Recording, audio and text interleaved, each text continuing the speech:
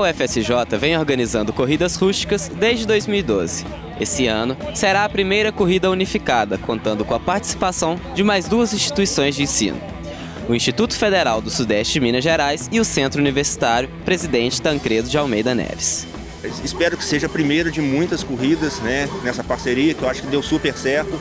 Está é, tá sendo um sucesso a corrida, o número de inscritos é, foi, foi assim, acho que recorde e o tempo né, da inscrição foi recorde, em menos de quatro horas se esgotaram todas as inscrições, muita gente pedindo mais.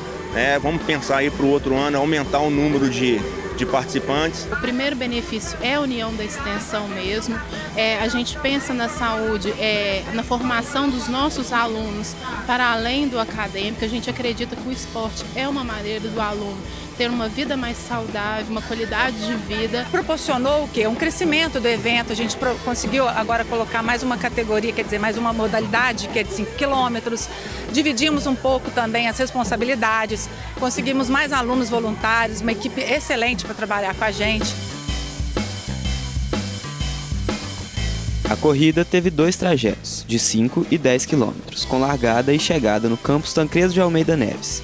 Quem se interessou pôde fazer a inscrição até o dia anterior à corrida, na chamada presencial, como fez a Tatiana. É, já tinha até passado o tempo das inscrições, mas teve uma prorrogação, né? Algumas vagas lançadas depois e ontem eu consegui. Fui, tentei, consegui e estou participando pela primeira vez. Já o Luciano veio de outro estado para competir com seus conterrâneos e acabou levando o primeiro lugar da corrida dos 5 quilômetros.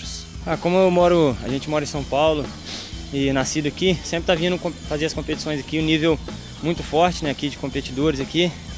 É, competidores muito bons, sempre difícil tá correndo aqui em São João do Rei, uma região que é muito forte nessa modalidade aí. Outra atração foi a corrida infantil, realizada na própria pista do Setan, dando oportunidade para crianças como Marcos Paulo mostrarem seu gosto pelo esporte. Como eu sempre gostei de correr, eu fiquei interessado em vir. E acordei bem cedo por causa disso. A corrida unificada também contou com uma presença especial. A equipe Ala, que vem participando de competições desde 2013, foi representada pelo Luiz. O nome ALA são as iniciais de três deficientes físicos que a gente leva nessas competições, que é o Alex, o Luiz e o Alessandro, que traz toda essa energia boa, que une essa equipe com muito amor, com muita garra, com muita superação e muito ensinamento e aprendizado para cada participante dessas corridas. Então é sempre um prazer fazer parte de uma equipe tão bonita como essa.